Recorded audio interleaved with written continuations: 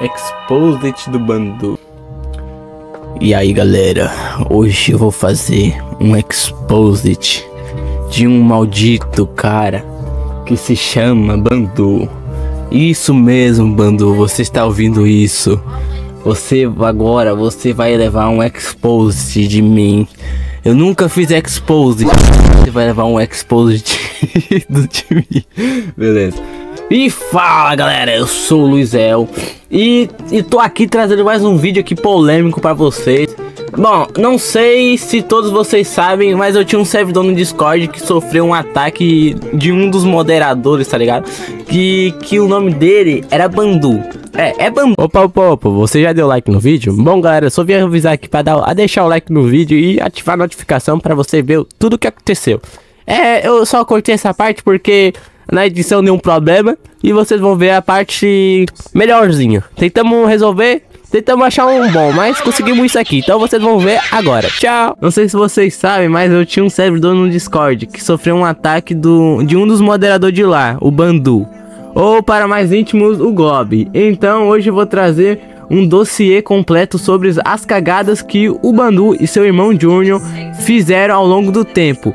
Algumas que, algumas que sou testemunha e outras que ouvi falar e vim trazer provas. Então, bora lá pro vídeo.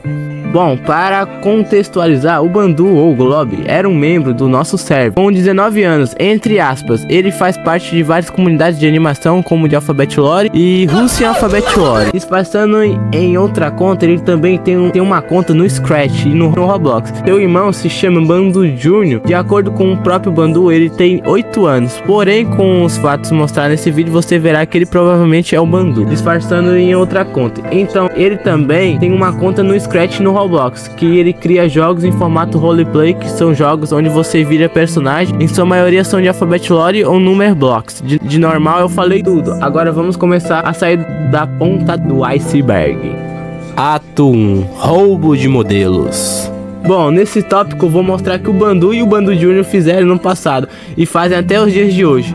Bom, existe, existe um jogo que eu já trouxe aqui no canal, em lives inclusive, que se chama RP Oficial de Alfabeto Russo, que é um jogo do Roblox da série Russian Alphabet Lore, criada ori originalmente por Harry O'Hibber Humor.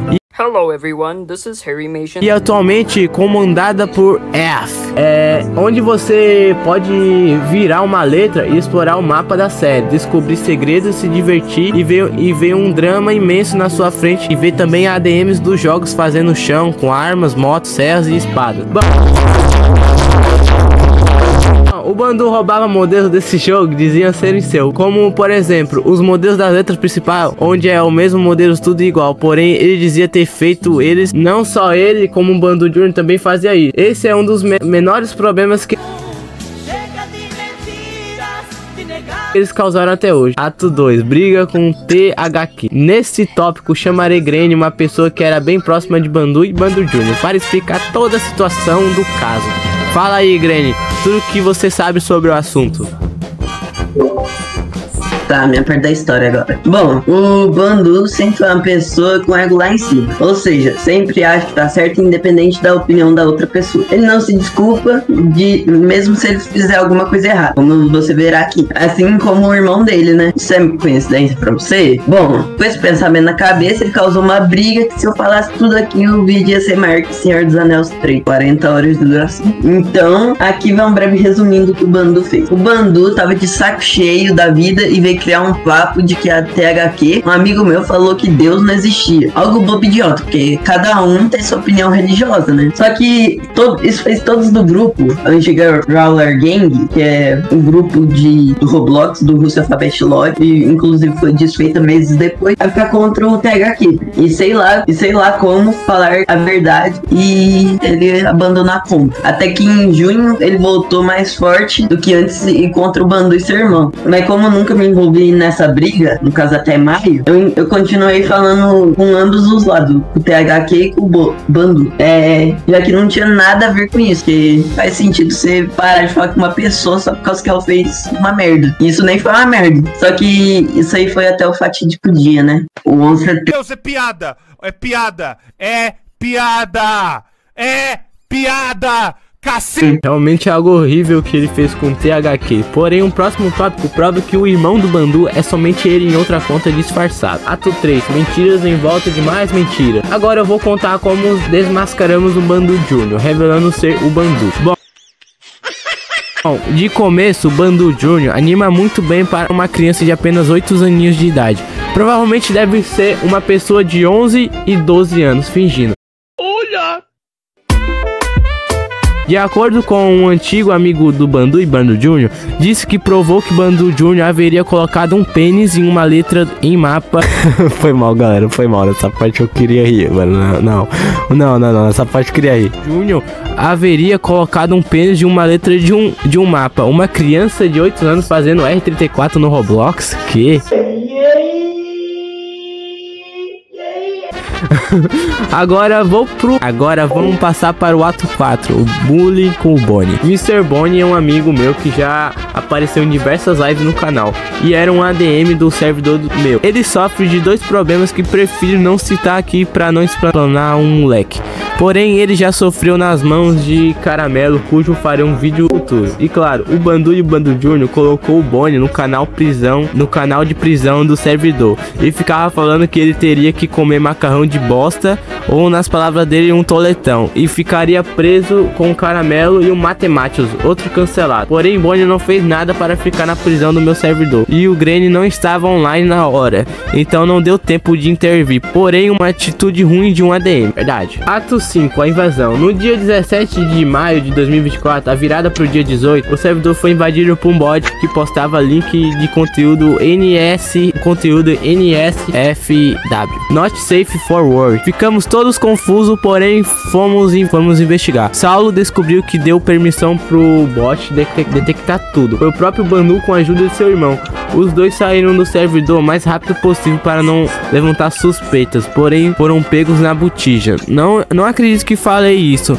Então tentamos, con tentamos contato, porém havíamos sido bloqueado. Então conseguimos voltar e começar um tribunal para ver se ele era culpado ou inocente. Lucas e Dinkas eram juízes e Granny era o que estava acusando o Bandu no dia. No dia. Como precisava fazer live na hora, não compareci. Porém vi tudo depois com, com o juiz. Vou deixar o Granny falar um pouco o que aconteceu. Literalmente eu mostrei as provas do que tinha acontecido, tipo o Bandu, a print do Bandu adicionando o bot, é, a print da mensagem que o bot mandou, eu sendo bloqueado pelo Bandu, coisas do tipo, né? E aí o Bandu tinha falado uma papinha nada a ver, que ele tinha sido hackeado, que um tal de Victor que tinha uma conta no Roblox e no Discord, só que ele não conseguiu mostrar provas de que era a mesma pessoa, tinha hackeado aí, ele tinha senha, ele postou isso. É, ele tinha provas suficientes, tinha, ele não tinha prova suficiente para provar as acusações dele. Então, que no futuro vão ser provadas que são falsas,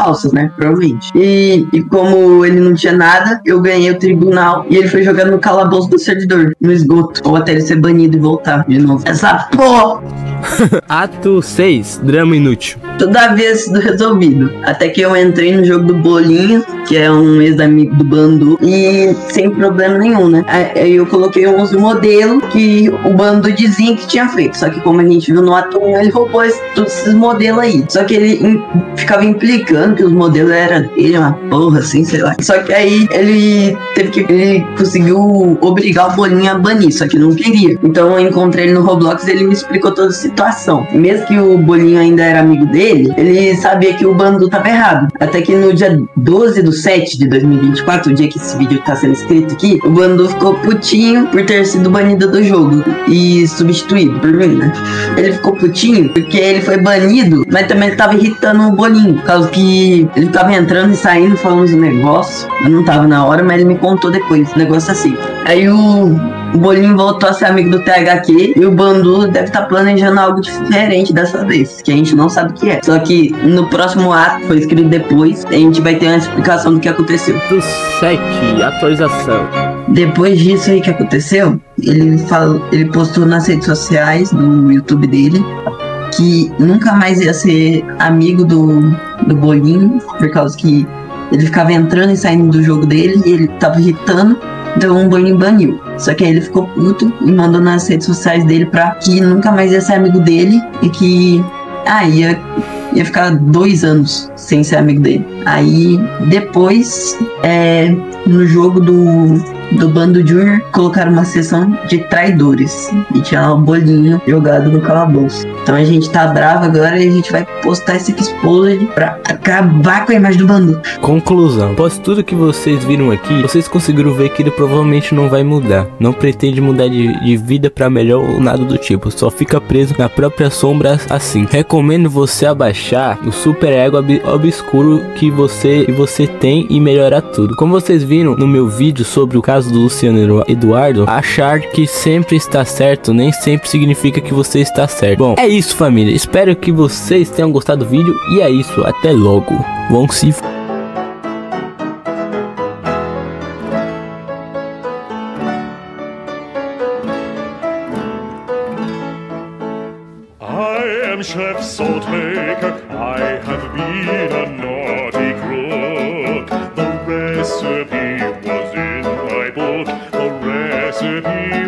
overcooked. I should not.